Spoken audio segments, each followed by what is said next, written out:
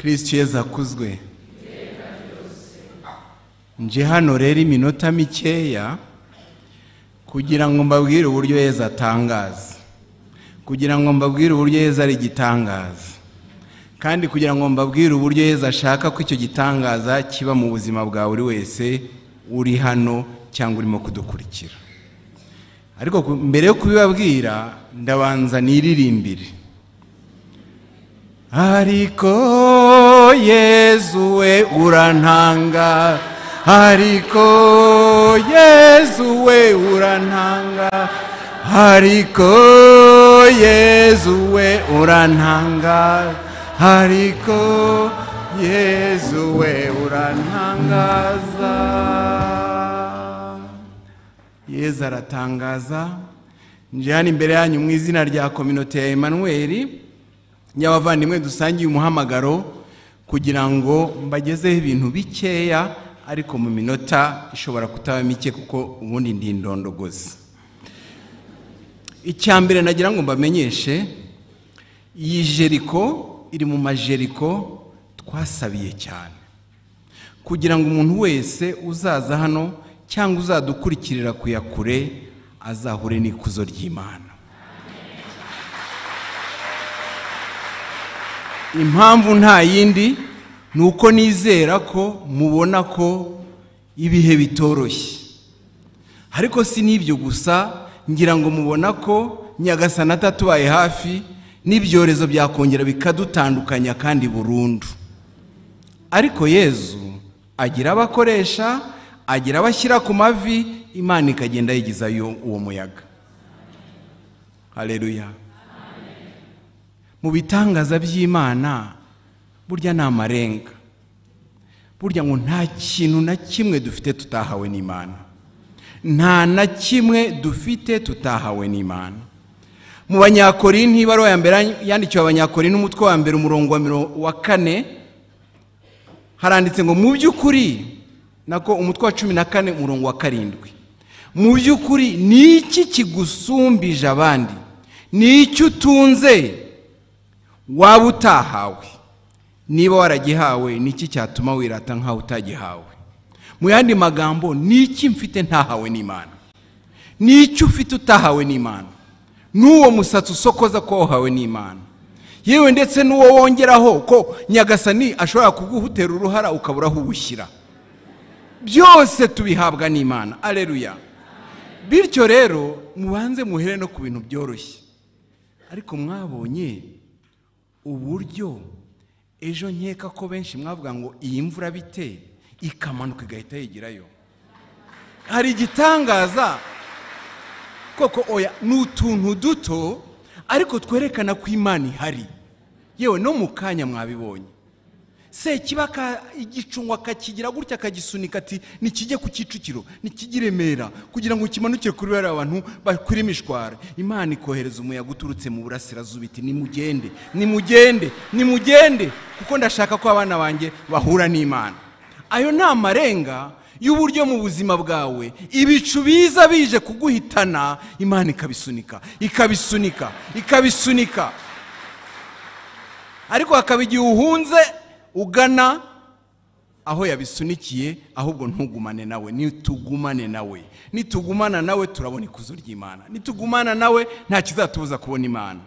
Ikinzanye hano rero muri uwo yezu udutangaza mu magambo make kuko hari igihe mwicara ahantu mutazi uko habayeho mutazi uko byagenze. Muricaye mumerewe neza ariko buriya hari ababitekereje hari abo imana yakoresheje. Icya mbere ndagira ngo mbabwire ko aha hantu rugamba sipiriyani yifuje ko umuntu uzahagera umukene umukire ukomeye uworoshye umurwayi umwera umwirabura azahurira n'imana kandi akabona umutima w'imana.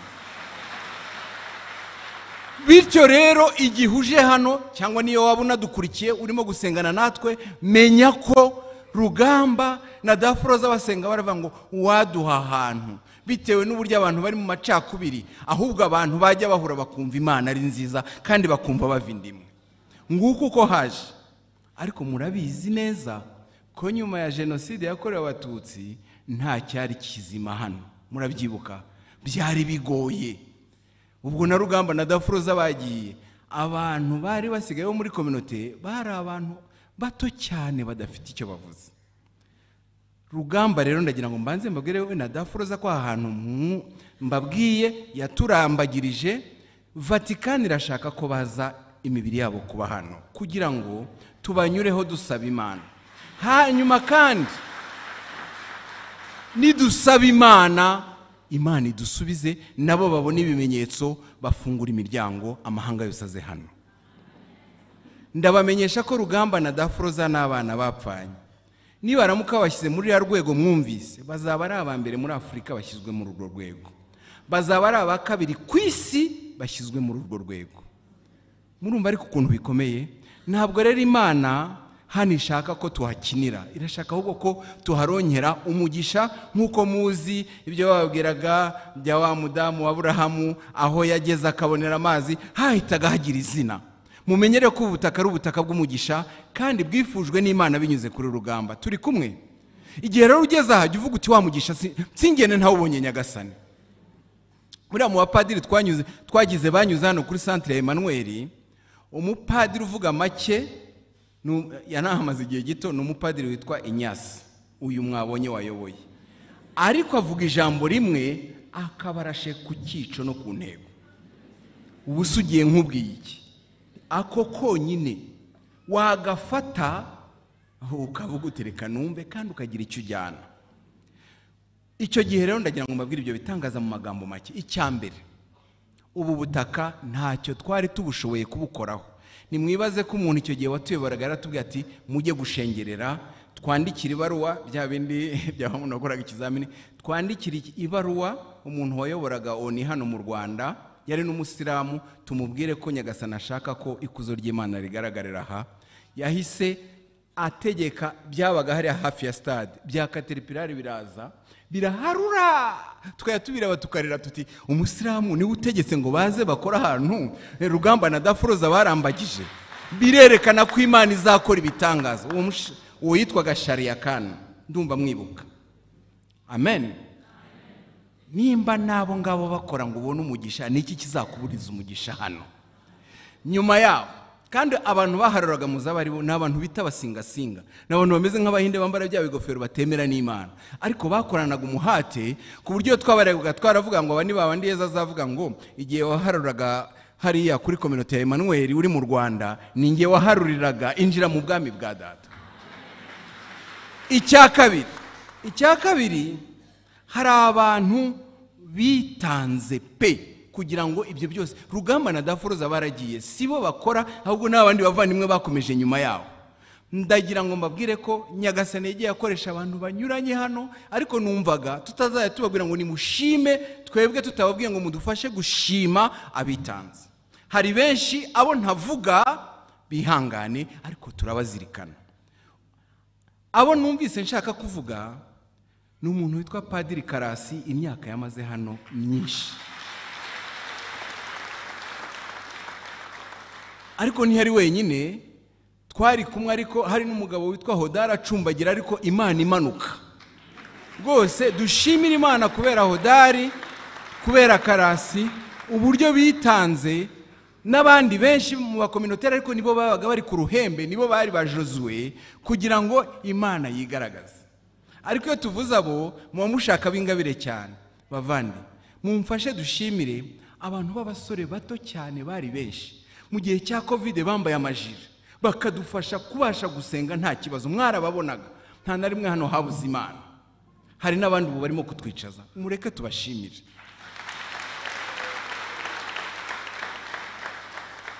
Nababwiye rero ntabwo ndi buvuge bose.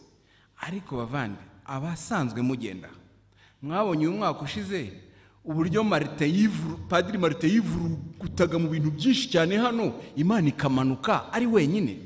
Ubwo ntitwashimira imana. Oya murabyibuka ariko se? Oya ntabwo mukoma amashyi nk'ababyibuka. Kuko twabaga twabaga dusaba imana ngo imana iturinde ntarware malariya. Kuko yari kuyirwara ariko hari n'abazaga kumusayidira ariko padiri maritini yaje nk'igifaro niko bajya bavuga hanze aha arakora pe. Akorana n'abandi bavandimwe turashimira imana ariko by'umwihariko buriya ntabwo na rimwe twigeze tubona ikere ikintu kitubwira ko hano abashumba ba kiliziya bazavuga ngo reka turuhure padiri uba hano ari umwe ejo bundi batuzanira abapadiri batatu. Murumva? Ntitwabirotaga. Umushumba wa rikidiyoseze n'umushumba wa kibungo bati abana b'imana nibaze bitanga. Ubu hari padiri felicien hari na padiri maritini hari na padiri teoneste koko ibyo ntitwigeze tubirota. Tubishimira imana rero. Ariko si ibyo gusa. Buriya hari ibintu twebwe tubona ari na yo mpamvu mbabwira ngo yezu aradutangaza tukabona bidashoboka usibye imana yonyine. Twatangiye abakera mwagiye muza hano kuva muri za bibiri mwagiye mubona ko hariya mu kibaya cy'amahoro twahurizagamo abantu ibihumbi bitanu. Ntimwabibonye burya ry'amahema ni umuntu umwe wavuga ngo imana yarampaye mujye muza muyafate namwe. Nta na rimwe twarihaga igiceri. Mushimirire uwo muntu. Hari igihe abantu babaga bicaye gutya tukavuga tuti umuriro nubura turabigenza dute abantu bishyira hamwe bazana genereta mwabonye ko iyo umuriro ubuze bihita bigahita bica mu izina rya yezu tubashimire abo bantu. Hari abakirisitu baje hano badasanzwe basengera bahasengeye nk'igihe cy'ukwezi. Bageze baravuga ngo ariko bari banakuze ariko.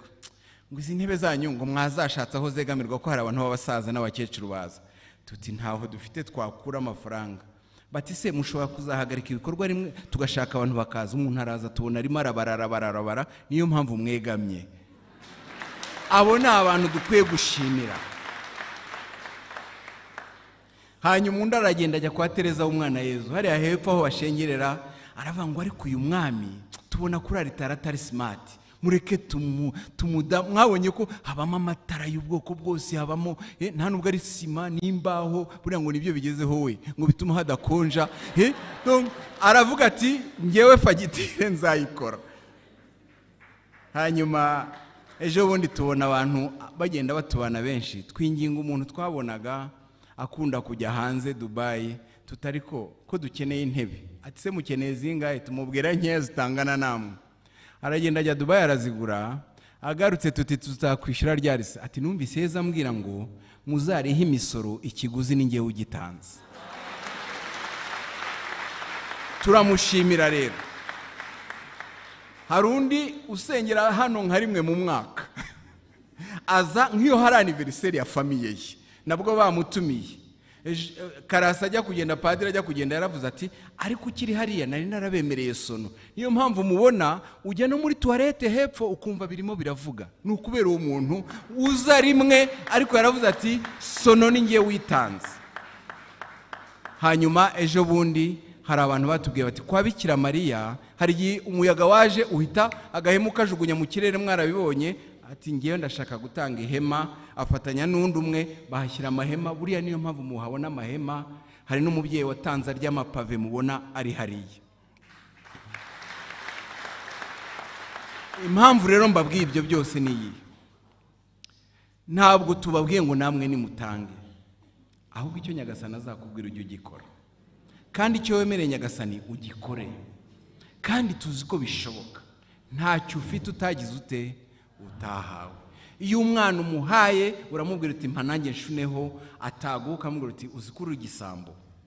Icyo tubifuriza ni uko mubona ko ubu aya maporojegiteri arimo guhita hano hanze n'izi za yakure ni abantu bato baza bati mbahaye porojegiteri abandi bati nzanye tekinisite yanjye. Ubu birimo birakurikirwa hari n'umuntu wo muri Australia wambwiraga ati iyo mvuye ku kazi mpita nza nkifatanya namwe.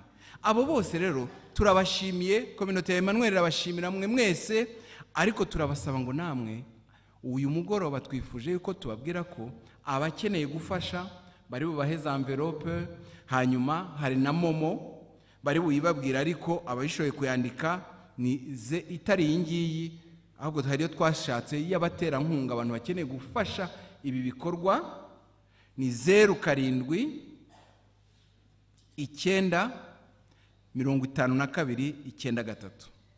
Zeru karindwi icyenda itanu na kabiri icyenda na gatatu handitseho ema rwanda. Uzajya yumva nyagasani hari icyo amubwiye ajya agikora. Uzajya yumva ntacyo amubwiye ajya amubaza ati ese ntacyo umbwiye hanyuma icyo amubwira azagikore. Imana ibaho umugisha.